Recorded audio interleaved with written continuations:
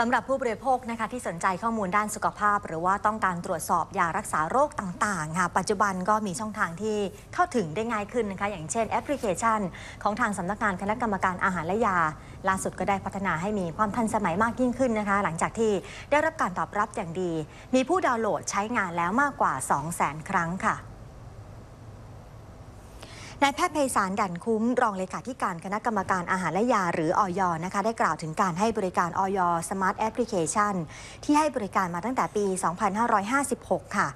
รองรับการใช้งานทั้งในระบบปฏิบัติการ iOS และ Android ว่า ได้รับการตอบรับดีมาก มีผู้ดาวน์โหลดใช้งานแล้วมากกว่า 200,000 ครั้ง และยังได้รับรางวัลระดับประเทศ รางวัลกิตติคุณสัมพันธ์ สังข์เงินครั้งที่ 24 ประจำปี 2557 จากสมาคมนักประชาสัมพันธ์พันแห่งประเทศไทย ล่าสุดค่ะก็ได้มีการพัฒนาอย. Smart Application 3 ที่เต็มไปด้วยข้อมูลข่าวสารด้านสุขภาพที่มีประโยชน์ต่อผู้บริโภค